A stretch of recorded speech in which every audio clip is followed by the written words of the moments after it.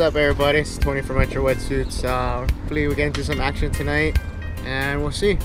Shoot. Oh, bro. Every now and then when the weather is nice and the winds are down, we put down the gun and pick up the poles and go out for some Menpachi fishing. Using sabiki rigs, some light poles, and looking for a good time.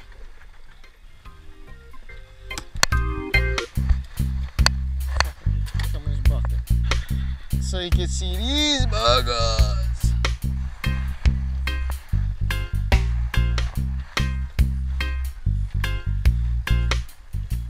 We've been Menpachi fishing for a little bit, uh, try to hop around, try to find new spots, and once you find that honey hole, man, it's on fire. You only catch Menpachi, start catching alaihis, and then you start sending on some, you know, live Menpachi, trying to catch some bigger game.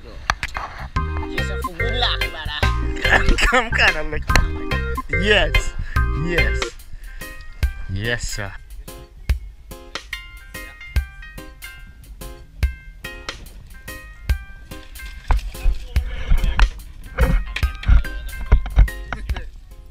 Definitely when you're Menpachi fishing and you know you guys are on the pile and you're starting to catch five, six at a time, definitely put on the gloves. If you don't, the next day your hands are gonna be all bust off from just little cuts and scrapes from the fish, from the hook. So I always use gloves.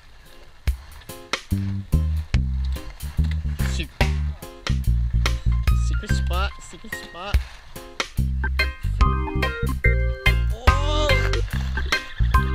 Don't forget to stop by on our website, check out our blog. I'll talk more about the gear we use, lights, headlamps, stuff to keep the bait alive. Carla. That through more and more trips that we go on, continue to upgrade the Guys, gear Are you good with this or to what? just be more effective and make things a lot easier on the boat at night.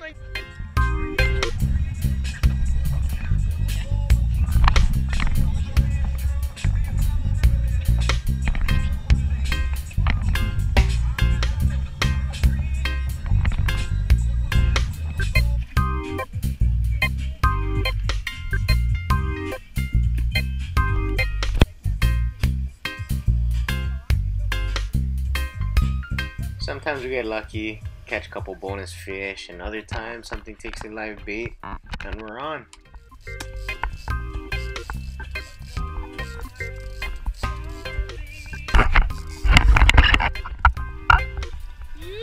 Land it, land it, land it. You gotta guide the fish into it. Gotta guide the fish into it.